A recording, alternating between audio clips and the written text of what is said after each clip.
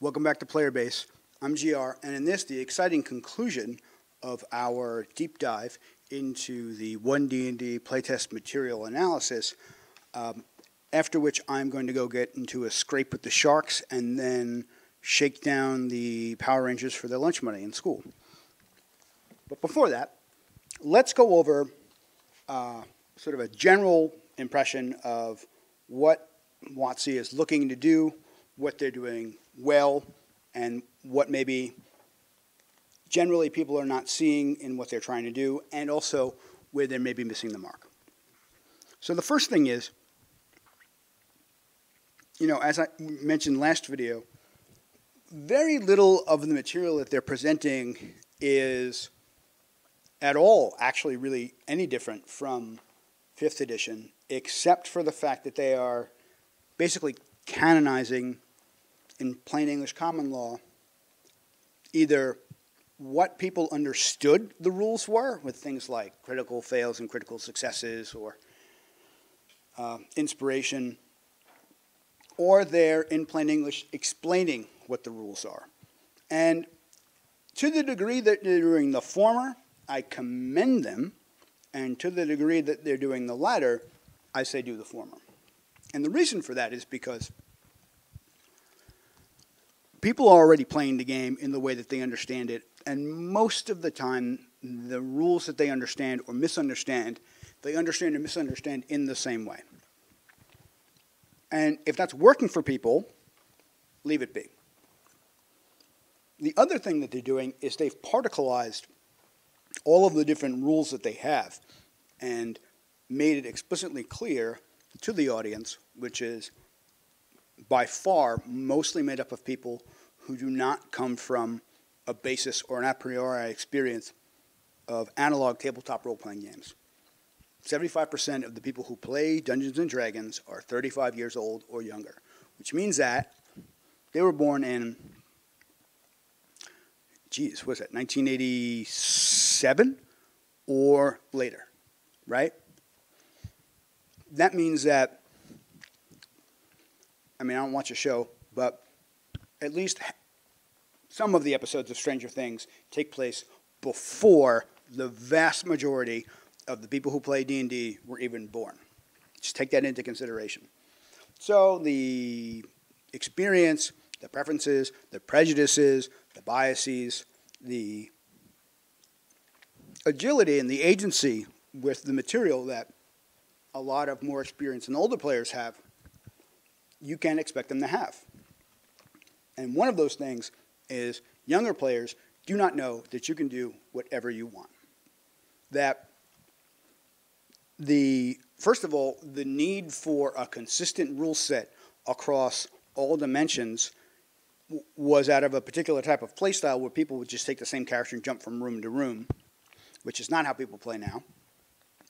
And that also everybody understood, and it was explicitly stated in a lot of places, that when you change things, you that's perfectly valid. And provided that people understand those changes ahead of time, there's really no reason to even worry about it.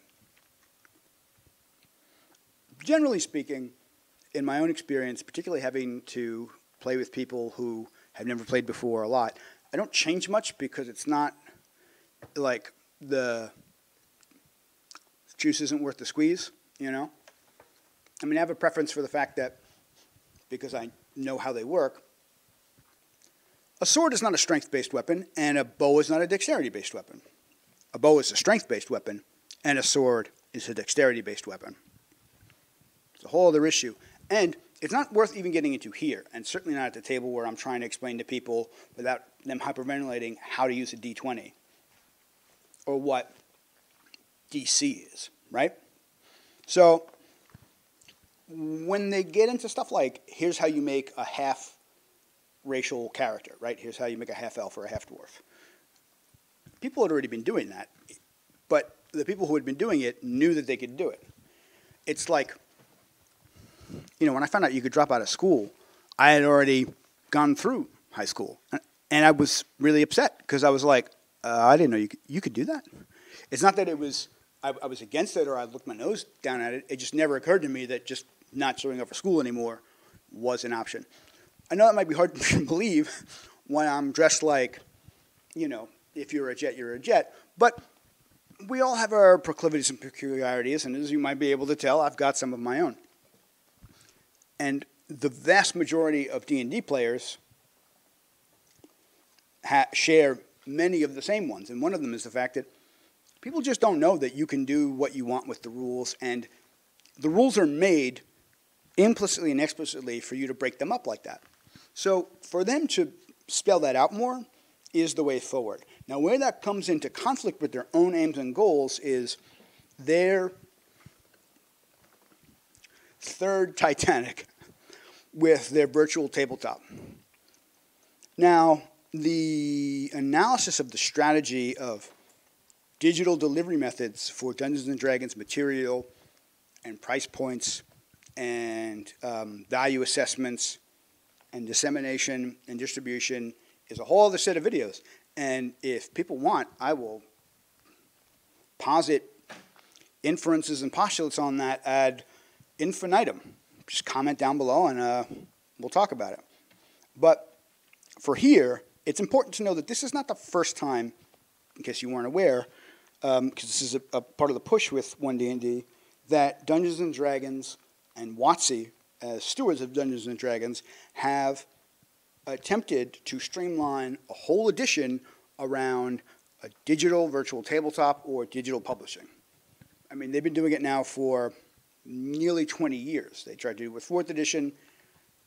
There have been some attempts with fifth edition, and now they're trying it again. And as you might be able to infer, they have not been successful. And that's one of, one of the reasons people hate fourth edition, but it's not the only one. Because, you know, it's built like a video game. And this comes into the same issue that fourth edition does, which is if you, let alone, there's another issue that I'll get into about distribution and what we'll call farm teams in relation to the very unique and asymmetrical relationship Dungeons and Dragons and WotC has with the tabletop economy, right? And that's, we're going to talk about that. But first, let's just talk about the fact that if you want people to understand that this is an imagination game where they can do whatever they want, having it be tied directly into a physical and finite and complicated computer program that is going to basically kill your business if you do it. And I realize that's bold to say, oh no. I was so emphatic I spit. How disgusting. I'm leaving that in. Sorry. Um, but I mean, like, I realize it's bold, but I, am willing to stand by it, and, and this is why. You know, one of the problems with, with D&D Beyond and the way that they're doing things now is that there is an exclusionary element to it that is long-term detrimental to the business. And what do I mean by that? The people who play D&D are not all upper middle class. Most of them are white dudes. That's true, right? 75% of the people who play D&D are Caucasian men. So that's 40 out of the 50 million people. But they don't all have a couple grand worth of expendable income per season. And that's important because if you are going to make it de facto a requirement that people have a computer strong enough and reliable enough and powerful enough to run uh, an agile and working 3D imaging program like a virtual tabletop, you are going to cut a lot of people out. Now, the way that D&D works now is, and this is one of the problems that this is not going to solve, by design or by lack of design, you have one person who's the dungeon master who spends all the money and does all the work, which is one of the legitimate reasons people resent being dungeon master. Because, I mean, I like not being able to have to get up and leave at 10 o'clock at night like it's just my house, right? And I have Italian, so I like hosting. But you know, for some people, the expenditure of like the coffee and the soda and the cookies and the crackers, um, even when players bring stuff, which isn't always a given, is more than they can bear without some real attention. And that's to say nothing of the cost of the materials to work from, right? Like, Player's Handbook is 50 bucks, the Dungeon Master's Guide is 50 bucks, and the monster manuals and the campaign supplements are all 50 bucks at least each, right? So let's say um, you're new at, at the game and you want to run Dragon King's Lost Mines of uh, the Yawning Portal, right? And you need to get the material. Now, not counting like the paper um, and if you're printing them out or you're buying them, the character sheets uh, and the pencils and the pens and the erasers and the sharpeners. You also have to get a Dungeon Master's Guide, a Player's Handbook, the campaign, and at least one Monster Manual. So that's $200. Now, for most of my career playing D&D, I spent a not inexhaustible amount of the time considering what I was going to play or how I was going to play based upon a $10 difference in the rule books. And you know, it's one of the reasons that because of scale, a lot of really good uh, role-playing systems don't do nearly as well. I mean, Delta Green, for instance, which is a uh, Lovecraftian Cthulhu-style horror game set in like American military Vietnam era conflict. So you're like Delta Force in like 1972 in like Da Nang, and you know you come up against some kind of unspeakable horror. Like that's a oh my god, what a great game! Like the like the player's handbook is like 70 or 60 bucks, and the Dungeon Master's Guide or whatever it's called is at least another 60 or 70. So just to get started in that game, you have to spend $100. Now, with Dungeons and Dragons, it's not that much cheaper, but you have a pool of resources to work from, right? One person has the Player's Handbook, one person has the Dungeon Master's Guide, you have the internet, so yeah, you can get most of the other stuff that you need, right? A lot of the variants of character classes are either readily available or able to be piecemealed together with just information online.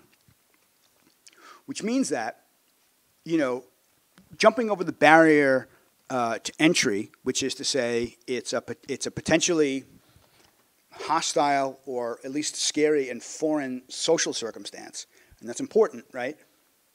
You know, not everybody is super outgoing, and just the idea of sitting down at someone else's table with people they don't know is already like that costs a certain amount of like their limited resources of energy and focus and time and effort. And then on top of that, they have to learn the system, which is pun it, interesting pun, witches, right? Because it's like arcane magic as described by a 12th century inquisitor monk in eastern Poland. Like, it's not easily digestible the way that role playing games work if you're not already familiar with it. It's intimidating, particularly if you want to do something punitive like being a magic user. I mean, I'll do a whole separate video on like the Vancian problem, but for this, that also is going to cost people energy and focus and time, right?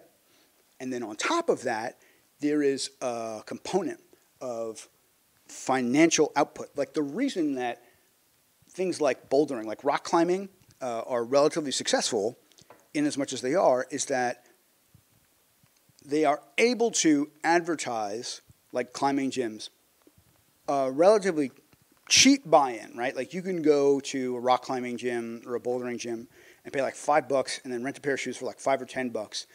And then you don't really have to worry about the, you know, that barrier to entry and you can just focus on like, you know, how scary it is to climb up a rock or the social dynamic that you have to work through or just the skills of like rock climbing. D&D has all that and if you don't have the right people, it costs you like $100 to start. That's a lot for most people. Right? And you know, one of the biggest problems with with D&D Beyond, at least before WotC bought it, was they were asking full price for material that you already owned. It's like if I buy the player's handbook for 50 bucks, you would have to spend another $50 just to have access to it on D&D Beyond or um, Tasha's guide to extra stuff that you needed. You have to spend another fifty dollars. So you're spending hundred dollars to use the same material to, for the convenience of playing online. And like the character creator is, is makes things easier. But first of all, most people learn the game by filling out that character sheet to begin with. And when you take that away from them, you take away their ability not only to understand the game and therefore to feel more comfortable and therefore more engaged and have a longer lifespan in participation, but also you take away their ability to present it and evangelize it to others. Because someone who's played 20 games of D&D but doesn't understand how to fill out a character sheet when they're trying to tell other people at their office or at their school or whatever um, that the game is fun and they can't explain basic stuff like that, that's a bad look for the game. Someone who's already intimidated is going to go, uh, I don't know. I mean, if you don't know, because it's like trigonometry. That, that's what most people are seeing when they see role-playing games, which is to say D&D, because that's the majority, like 55% of all tabletop role-playing games being played are D&D. So it's synonymous, effectively. And everyone who's not playing D&D knows what D&D is. So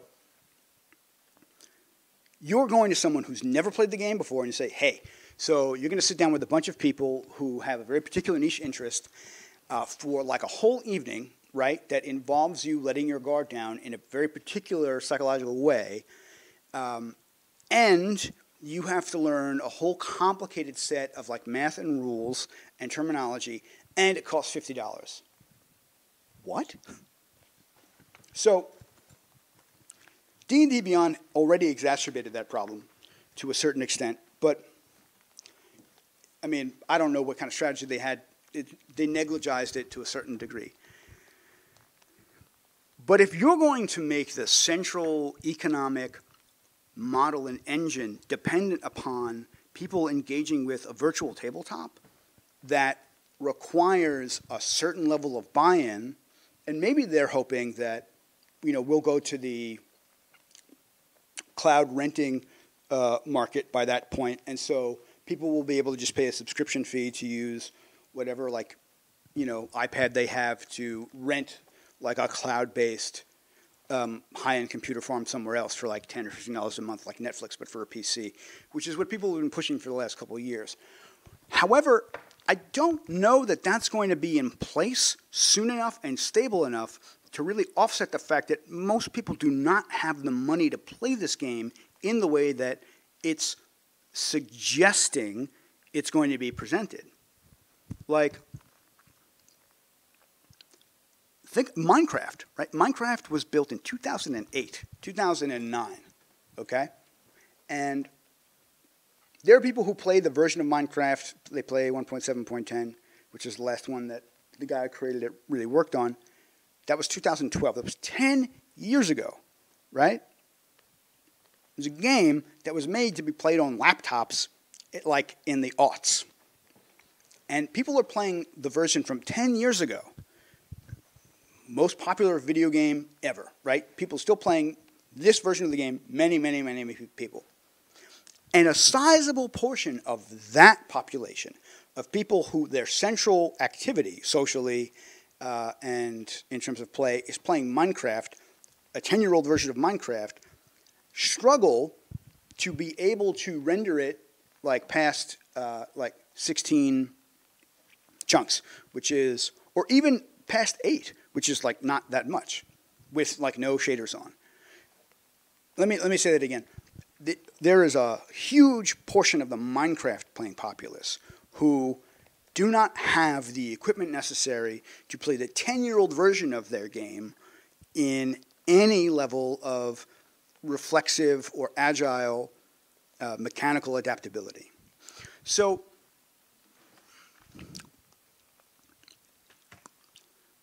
if you're going to grow the market share for this game, the model has to be one where you can get revenue out of people who do not have the ability to have access, let alone buy themselves, a $2,000 gaming rig, which is what it's going to require.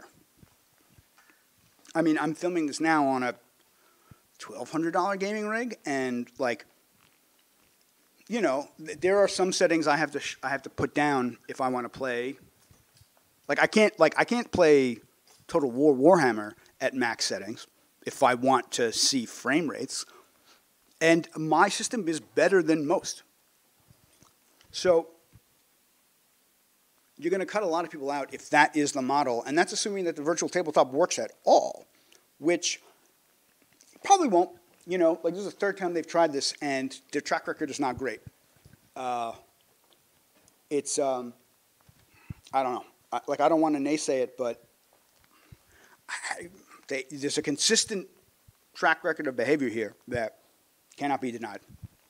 And on top of that, the whole issue with teaching millennials and zoomers that they can do whatever they want with the game is completely negated if they have to work within the confines of the very limited abilities of what you can and can't do and what you can and can't visualize within a virtual tabletop.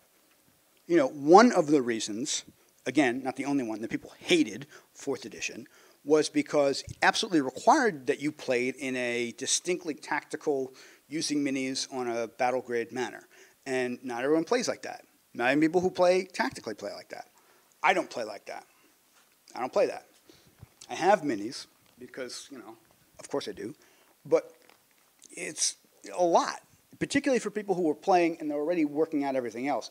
And when you're playing with what's referred to as theater of the mind, because it's an imagination game, everybody gets to have their own version of it, and because they're thinking in their head with whatever imagination they have, they are thoroughly enthralled in the process in a way that they are not when they're looking at a screen.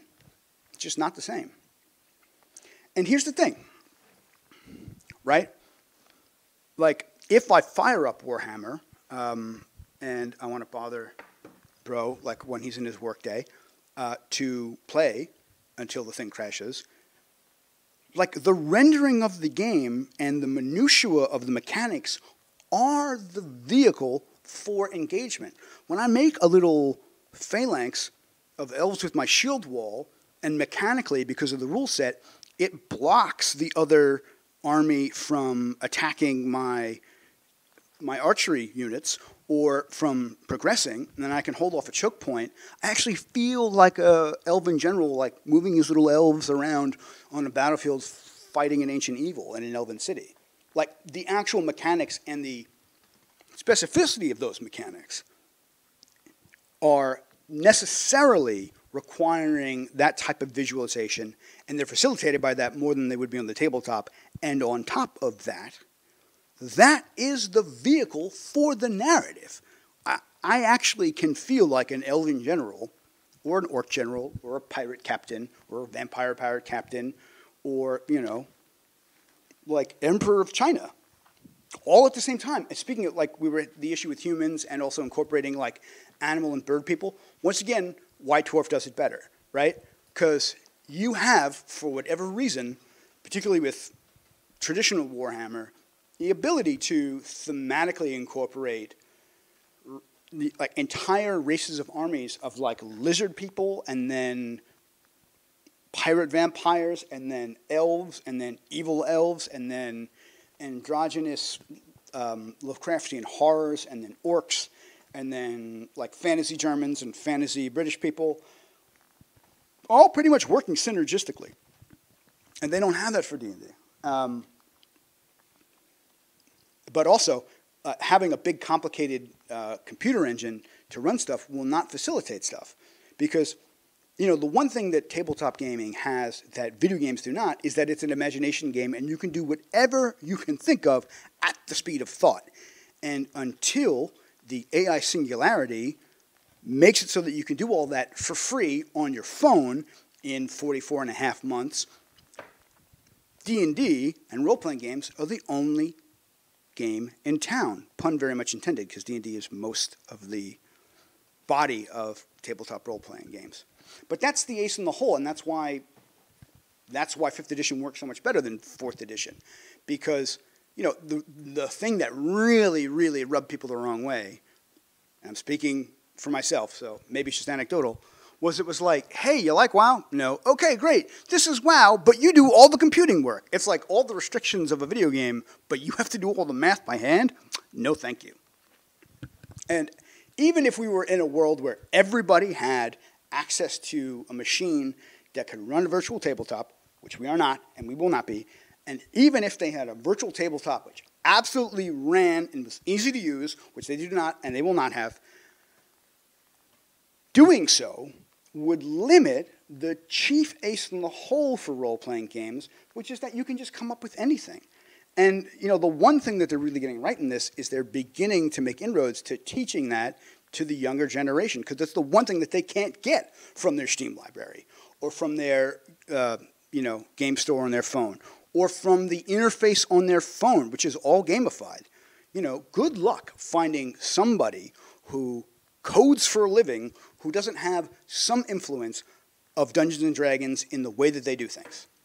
Like, it, it runs the world, you know? It, Revenge of the Nerds was like 40 years ago. And we've been living in that world ever since.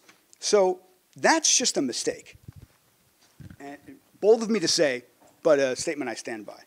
The other thing that's a real problem is that because WotC and Dungeons and Dragons is the majority of the entire field of this genre, over 50% of the people who play role-playing games with paper and pens and pencils play D&D and 5th edition D&D, they don't have the same relationship with their competition.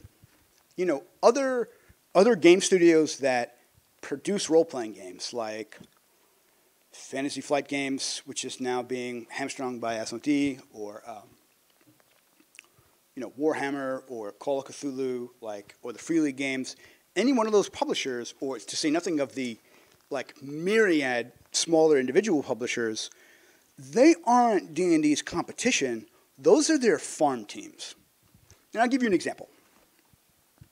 If you think of, if you like, just think of, or bother to look at who is working at WotC now who wasn't working there before 2010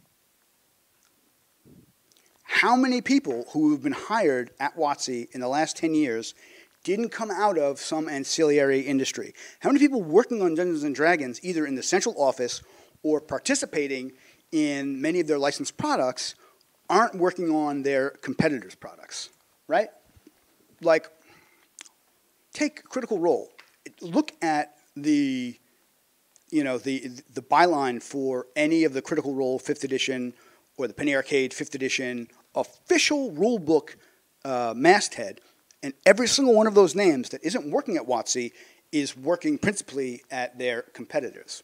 And this is important. This is uh, like the relationship between uh, WotC and the other people who build tabletop role-playing games for a living or design the material or craft the material is the relationship between a large popular game like the like Total War franchise or like Minecraft or you know like earlier versions of Halo or like Doom and Quake that they have to their modding community, right?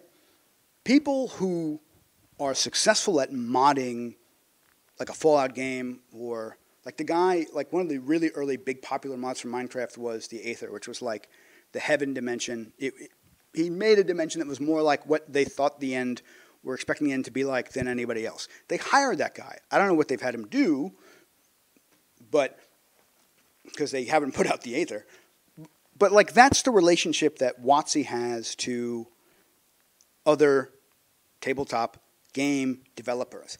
And if there isn't a vibrant marketplace and economy for those people to make a living and hone their craft, then the quality of WotC's material will go down precipitously because the people who work at WotC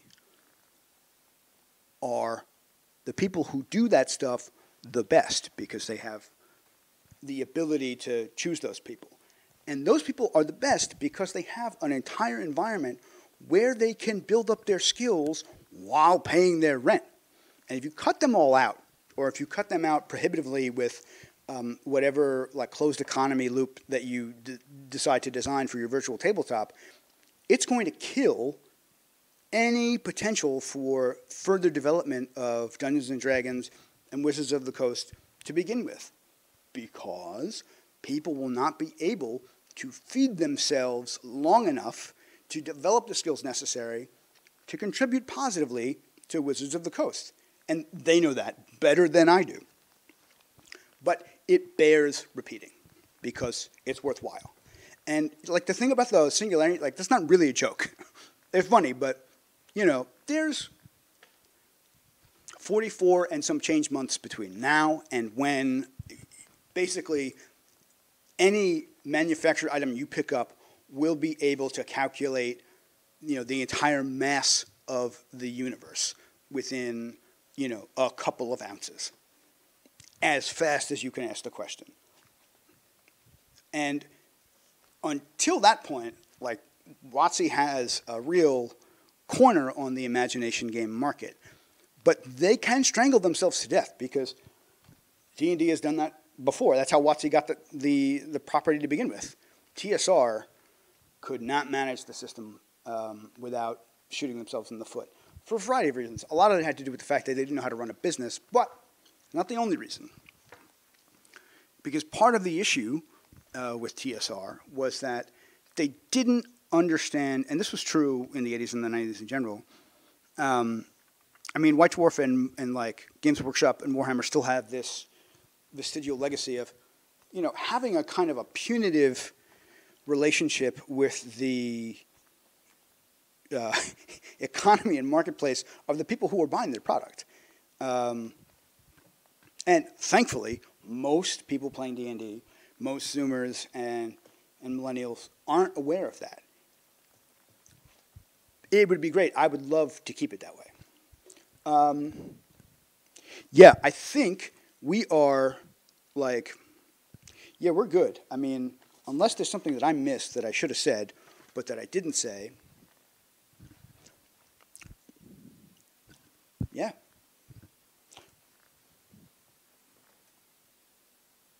Oh, uh, yeah, like, comment, subscribe, uh, share this with your friends, with your enemies, with your frenemies. And if there is something that you want me to talk about that I almost talked about but didn't, I'll leave a comment and let me know, and I will read them. Thank you so much. I'm GR. This has been Playerbase. Thank you for listening to us talk about ludology. Ciao, ciao, ciao, ciao, ciao.